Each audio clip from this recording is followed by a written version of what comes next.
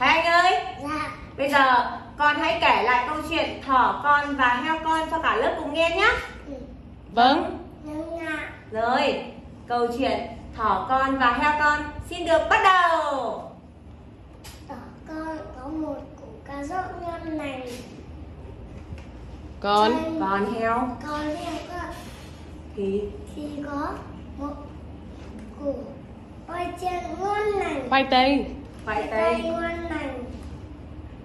Trời mưa không ra ngoài thì Ừ. cứ ăn được. Sợ heo con đói bụng. Tỏ con. Chè che Cái gì nhỉ? che ô. Mặc mặc áo mưa.